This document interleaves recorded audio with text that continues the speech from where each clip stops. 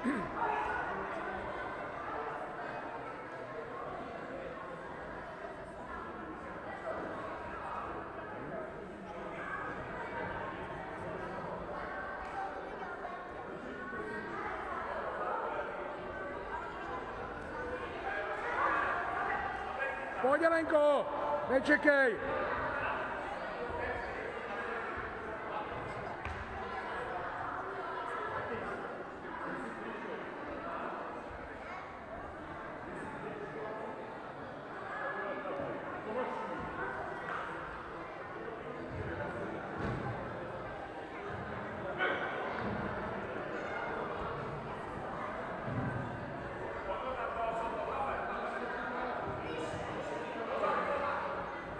Jelenko, nečekej. Přes obě nohy.